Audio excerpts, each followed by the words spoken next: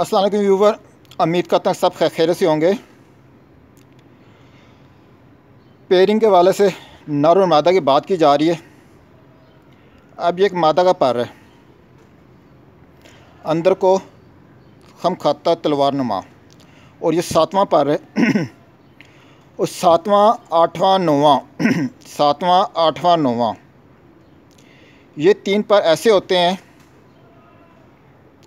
जो कि आपको कबूतरबाजी की, पूरी की पूरी कबूतरबाजी के बारे में बता देते हैं कि कबूतरबाजी में ये कबूतर आपका गर्मी में परफॉर्म करेगा या नहीं करेगा। जो गर्मियों का परफॉर्मर कबूतर होगा, उसका सातवां, आठवां, नौवां तीनों पर जो हैं, उनकी शक्ल एक जैसी होगी।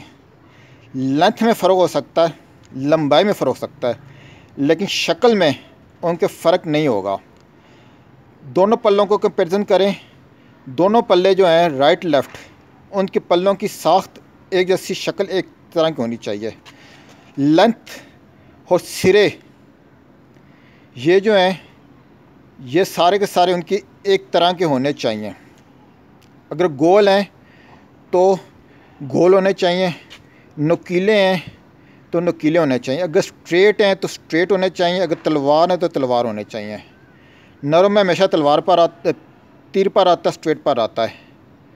जिसको परेल कहते हैं, और मादियाँ हमेशा ज़्यादातर जो हैं, वो तलवार पर की आती हैं, जिसको मसेल कहते हैं। जब परेल और मसेल को आप कंबाइन करते हैं तो आगे शिकार पर बनता है, जो कि 40 प्लस टेम्परेचर में आपको परफॉर्मेंस देगा। और इसकी जो चीज़ जो है, इन परों की, इन परों की बेस जो है, जो अब मैं शो कर रहा हूँ आपको, ये बेस चौड़ी होगी। ये बेस चौड़ी होगी इन तीन परों की। सीधी साइड पे और उल्टी साइड पे दोनों बेस चौड़ी होगी, जिन में ये चीज़ खसूसियत होगी वो कबूतर गर्मी के परफार्मर होंगे। इनको आप पेयर करें तो भी ये शाम की परवाज़ें देंगे। उम्मीद करता हूँ ये आपको वीडियो पसंद आएगी।